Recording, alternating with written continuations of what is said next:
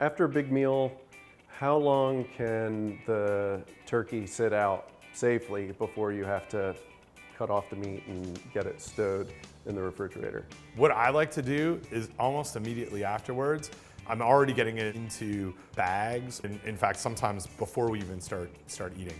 The real goal is to get it refrigerated and, and chilled as quick as possible because it's gonna extend not only the quality of that food, but really is where the safety aspect uh, comes in.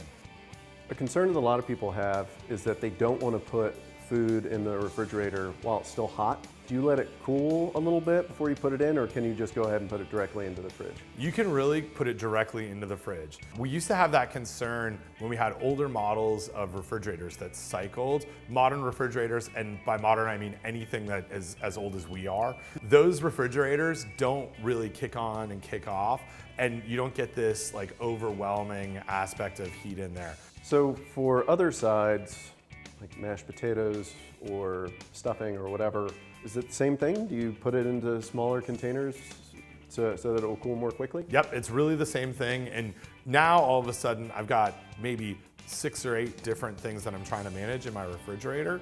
And I don't want to overload the refrigerator in a sense of putting things on top of one another. I'm not worried about the collective heat that's there, but I don't want to have you know, four or five things that are stacked on top of one another. It doesn't matter what those dishes are, uh, but just, it's the same thing. You don't want the food insulating exactly itself from cooling down. Yep, ab absolutely.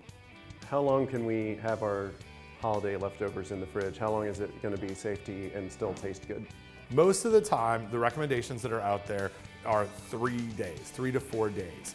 And that recommendation is based on really what's the temperature of your refrigerator.